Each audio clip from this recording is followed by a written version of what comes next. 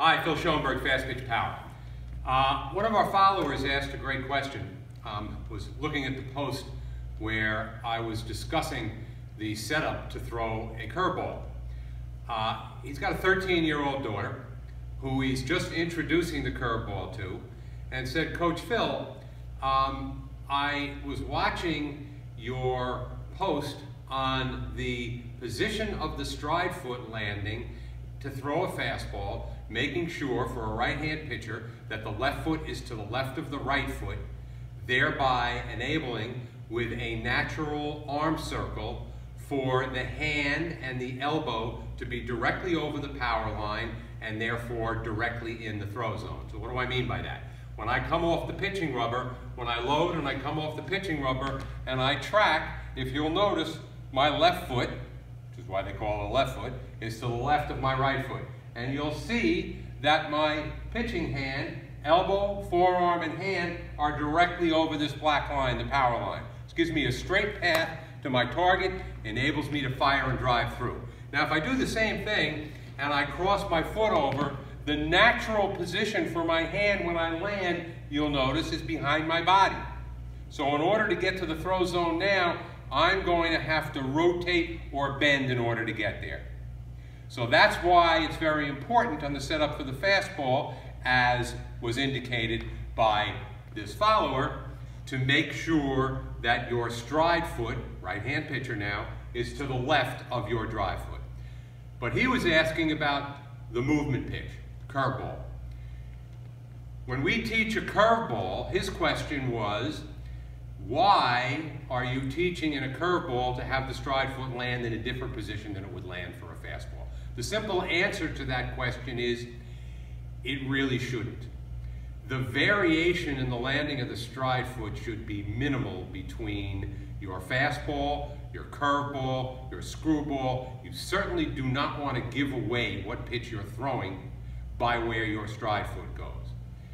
However, when we are dealing with young pitchers who are developing, we are exaggerating the position of the landing foot, the stride foot, so that they can not only understand, but they can feel the establishment of front side resistance.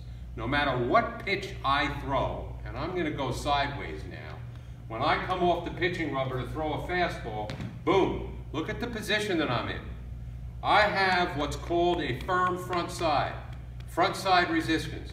I do not want that to break down, as though there is a wall here with nails sticking in.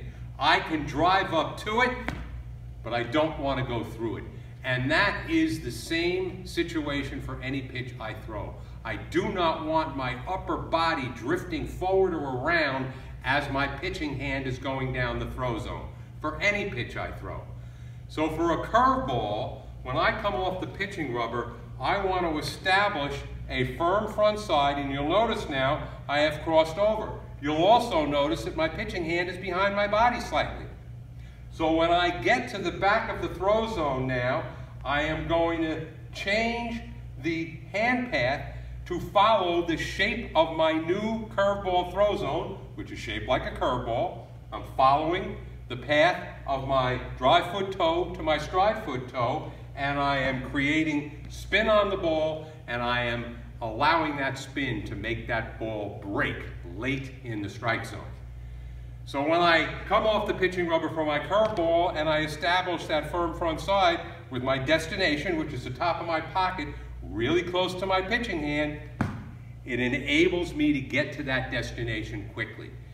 Now, as a young pitcher develops and becomes stronger, and the arm, the lower arm whip gets faster, and the wrist gets quicker, and the fingers get involved, the, the distance that I cross over the power line to establish that front side resistance should get less and less and less and less until it's almost exactly the same as a fastball.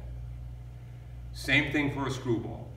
When I stride for a screwball, I'm going to be slightly open so that the path from my drive foot toe to my stride foot toe creates the shape of a screwball. But again, as I develop and I become quicker and stronger as a pitcher, I am going to have the variation in the landing of that stride foot become less and less and less. So the simple answer to the question is there really should not be anything other than a minimal change to where your stride foot lands for whatever pitch it is that you throw. But for young developing pitchers, we have found, and I think you'll find as well, that if you exaggerate that at the beginning when you're introducing the pitch, they will get the feeling of front side resistance a lot quicker. I hope that this has been useful. Love to hear your comments. If you have any questions, certainly share them with us and we'll answer them to the best of our ability. Talk to you next time.